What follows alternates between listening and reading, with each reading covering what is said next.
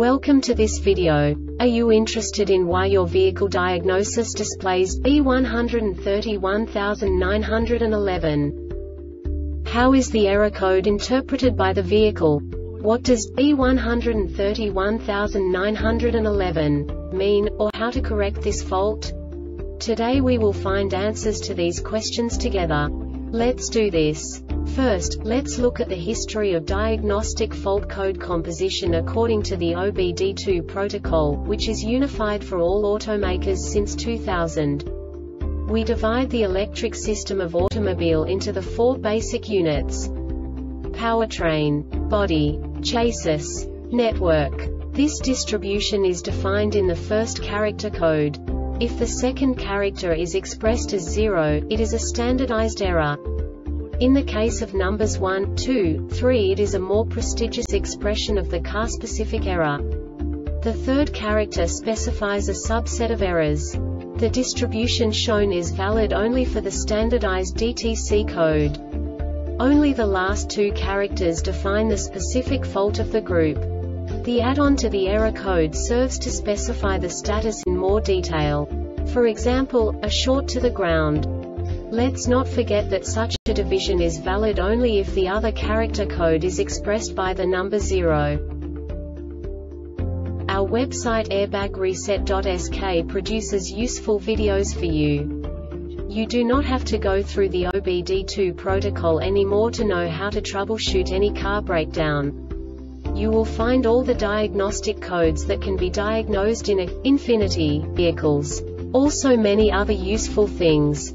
The following demonstration will help you look into the world of software for car control units. You unbelievably can move the video a bit further. The error code is split into two bytes consisting of 16 bits. One bit is the basic unit that each computer works with. The bit has two logical states. 0, low level, 1, high level. By combining the first two bits, the basic character of the error code is expressed.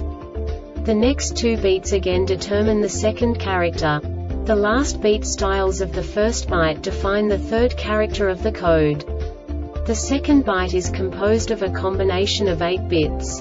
The first 4 bits determine the fourth character of the code. And the combination of the last 4 bits defines the fifth character. A single byte conceals 256 possible combinations. We now know in what way the diagnostic tool translates the received information into a more comprehensible format.